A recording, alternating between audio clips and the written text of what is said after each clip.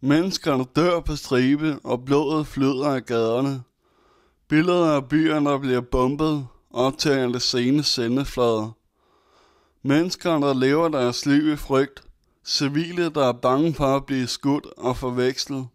Alt sammen noget, der hører dagligdagen til hos mange mennesker.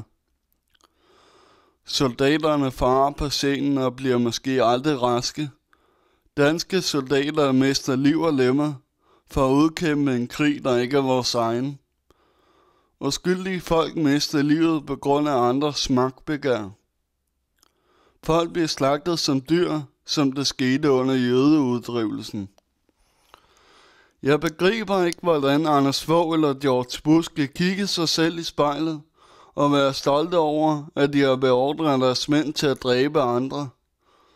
Jeg begriber ikke, hvordan sådan nogle mennesker kan leve med lig på samvittigheden, og så samtidig smile til kameraet, når det kører.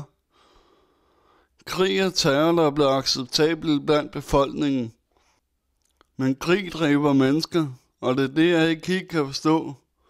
At de kan synes, at det er helt i orden at dræbe et andet menneske, bare fordi man er uenig med vedkommende. Så vidt jeg ved fra om livsstil herhjemme. Men vores regering slipper uden straf og med klap på skulderen.